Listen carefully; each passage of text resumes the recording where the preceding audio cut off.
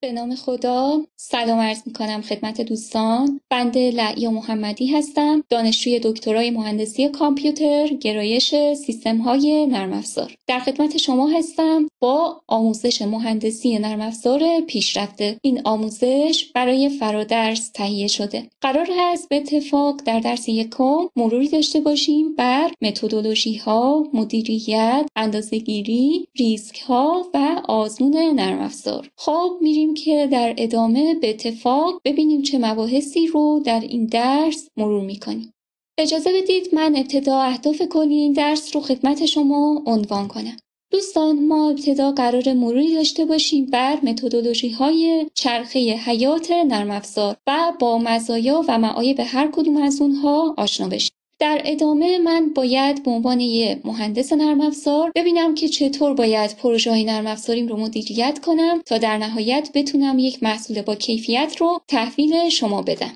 از طرف دیگه من باید ببینم که چه معیارهایی نیاز دارم برای اندازهگیری و سنجش نرم افزارم. و برای این منظور دوستان باید یک برنامه ریزی مناسب داشته باشم و بتونم پروژه های نرم افزاریم رو از جمله هزینه ها و بودجه رو تخمین بزنم. اما بحث دیگه ای که خواهیم داشت بحث مدیریت ریسک هست. در طول فرایند توسعه نرم افزار ممکنه به طور خواسته و ناخواسته ریسک هایی پیش بیاد که ما باید بتونیم اونها رو شناسایی و تا حد ممکن کنترلشون کنیم.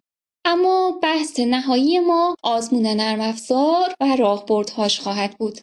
حالا با توجه به این اهدافی که گفتیم ما مباحثمون رو در چند سرفصل دنبال می‌کنیم که به ترتیب اونها رو معرفی می‌کنیم و به موضوعات مربوطه می‌پردازیم.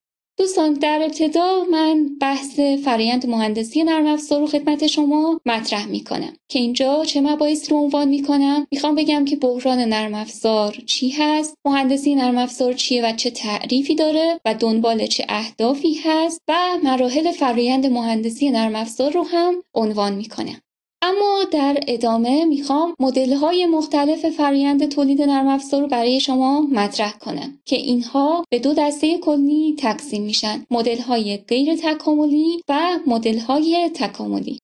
اول می‌پردازیم به بحران نرم افزار. ببینید از زمانی که بحث مهندسی نرم افزار پیش میاد این بحران هم وجود داشته. حالا دلایل مختلفی داره. از جمله اینکه روش های توسعه نرم افزار من ضعیف و ناکارآمد بودند و نمی‌تونستن پا به پای سرعت توسعه سخت افزار پیش برن. از طرف دیگه من بحث پیچیدگی در سازمانم رو داشتم. یعنی همونطوری که سازمان من داشت بزرگتر می‌شد و ماهی تغییر می‌کرد نیازهای جدیدی هم مطرح می‌شد. و دیگه نرم افزاری که من داشتم پاسخگوی اینها نبود. پس بنابراین باید ارتقا پیدا می‌کرد. و از طرف دیگه بحث کیفیت پایین طراحی رو داشتم. چرا؟ چون که من وقتی که می‌خواستم یه محصولی رو تولید کنم معیارهای کیفی تولید نرم افزار رو در نظر نمی گرفتم که این باعث چه مشکلی می‌شد دوستان؟ اینکه در نهایت محصولی که تحویل شما میدم از نظر طراحی کیفیت لازم رو نداشته باشه.